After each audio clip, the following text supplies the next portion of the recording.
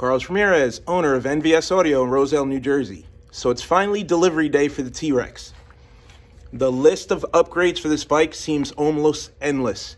Uh, I feel bad for the client. He's been screwed over by uh, the few shops that worked on the bike before he purchased it and after he purchased it, but we finally got everything right for him. Uh, super nice guy, great client. Um, he never rushed me to finish the bike. He just asked me to keep in contact. Anytime I found a problem, I called him and he said, "Go ahead, do whatever you have to do." So it's it's literally the type of client that every shop wishes they had. He spent the money that needed to be spent to fix it. He gave us plenty of time. He just asked to be kept in the loop.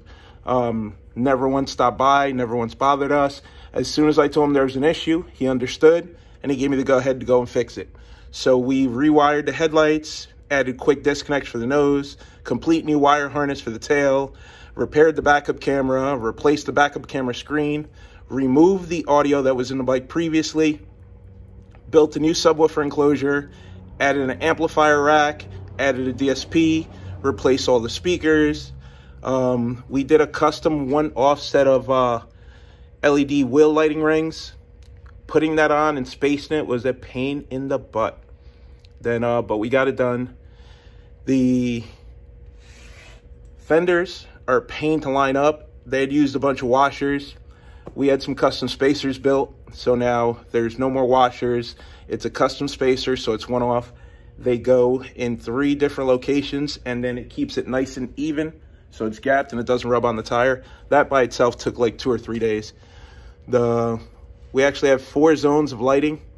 We chose the Stinger Marine radio for this because it's got Bluetooth, it's got USB, and it's got a lighting controller built in if you buy the separate module. So he can turn on the wheel lights, he can turn on the underbody lights, he can turn on the interior lights, and he can turn on the lights on the top, all separate switches from the radio. And it's all wet, weatherproof, so you don't have to worry about getting it wet. It's not gonna break. Um, he's got leg room on the passenger side now without the person in the passenger side putting their feet through the woofer. Um, all the LED lighting was replaced. All the wiring in the bike was replaced with oxygen-free copper wire. Everything is now serviceable. We put a brand new battery in it. Uh, it's a lot of work. Like, I never want to do this again. But um, hopefully we never get one that's been mistreated as much as this one. But now, everything's good to go. Everything's serviceable. I'm going to give him a list of everything that we did. List where all, every, all the modules are located. That way, if he has a question, doesn't have to bring the bike all the way down. He everything is mapped out. So the fit and finish is flawless. Looks great, sounds great, serviceable. We did a true push start conversion so he can drive it with the key or without the key. And then if you don't have the key, it won't let you start the bike. To true push start, to step on the brake, touch the button one time, it cranks and starts up. It monitors the tach rate, it monitors the brake. Uh, so hopefully he gets years of enjoyment out of the bike with uh, no more headaches.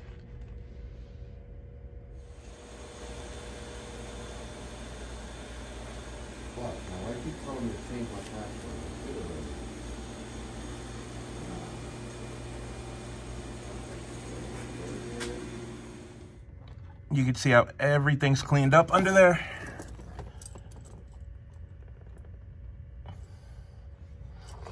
We went with the DB Drive Motos, front and back, 35 millimeter horns,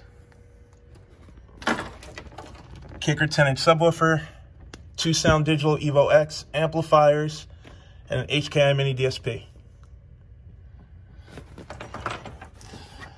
There's our Stinger radio. You hit this button and it lets you control the lighting. Very simple. Off, off, off, off, on, on, on, on.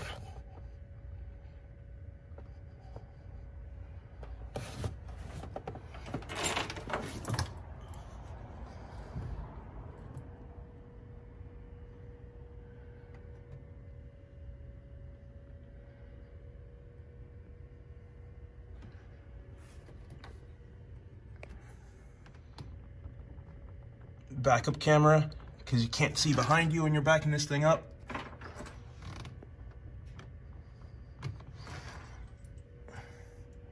Accent lighting in the pods. accent lighting in the tail.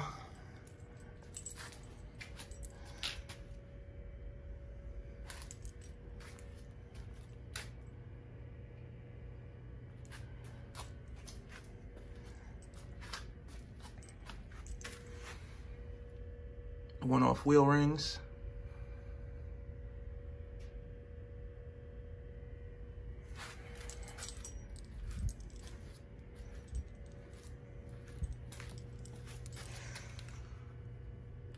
Custom spacers for the fenders.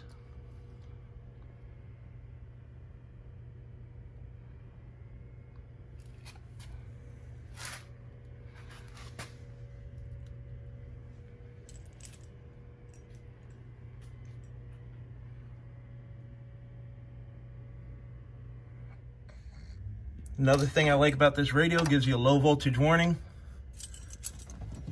So let me throw it on the charger.